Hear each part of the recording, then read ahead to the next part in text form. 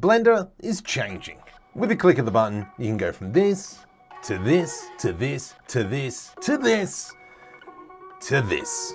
So yeah, let's uh, let's question some life choices. There's a free Blender Market add-on called AI Render, link in the description, for free, and install it how you would normally, edit preferences, install, double click on the file, put a tick. Now there's one extra step that you have to sign up for DreamStudio, copy your key, put your key, save preferences, and over into the render tab, we have now our render settings. Now putting together something super quick, materials, make sure we set our image size, describe what we want, and with that just simply press F12.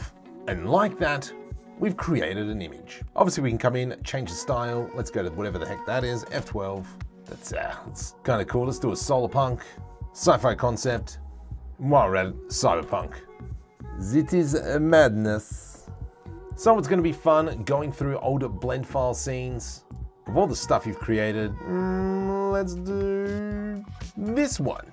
Now for those of you who are not subscribed, hey, it doesn't cost anything, just press it. And with this ship, we created this on the live stream, so hit the notification button if you need to. But once again, into the render settings, enable AI renderer, set the size image.